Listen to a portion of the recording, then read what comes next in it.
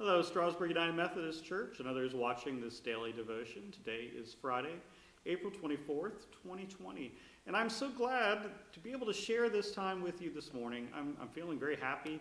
Uh, we had some rain fall down and made me think about my garden. I'm looking forward to it getting warmer. Um, you know, you got to find the wonderful things in this world, even in the midst of everything that's going wrong. Um, and so I want to share with you a little bit from uh, Psalm 100. It's one of my favorite Psalms. Uh, I say that about a lot of my Psalms, but uh, this is one that I would like to share with you. Make a joyful noise to the Lord, all the earth. Worship the Lord with gladness. Come into his presence with singing. Know that the Lord is God. It is he that has made us, and we are his. We are his people and the sheep of his pasture. Enter his gates into thanksgiving, and his courts with praise. Give thanks to him. Bless his name, for the Lord is good.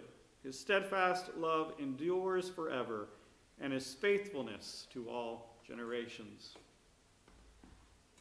The Lord is good. And the Lord does care for us. And we are the sheep of his pasture. And of course, you know, Jesus talks so much about what it means to have a good shepherd. Uh, the good shepherd watches out for his flock. The good shepherd leaves the 99 behind to find the one that is lost. Those are all these wonderful images of God that I think we need to hear in this time of pandemic and fear and frustration and anxiety. So if you are doubting, that, uh, that you're loved, if you're doubting that someone's looking out for you, please know that God does care for you no matter what. One of the things that we do in response to that uh, knowledge is to pray. And I want to share with you a, a, song called Lord, Listen to Your Children. It's in our Faith We Sing book. This is our, our black hymnal that we use for the United Methodist Church. Uh, came out in the late 90s. Um, this song is written by uh, Hant Hansen and Paul Murakami, and it came out in 1991, but it's called Lord, Listen to Your Children. So let us uh, hear these words, and then we'll join in a prayer. With needy hearts we come and pray. Lord, listen to your children.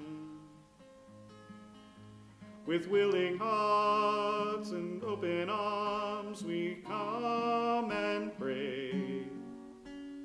Lord, listen to your children. With simple words of heartfelt thanks we come. Believing in your promises we come. On bended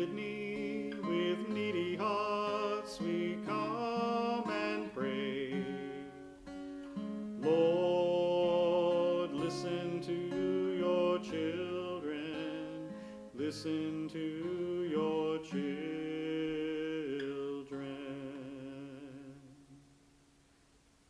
Let us pray.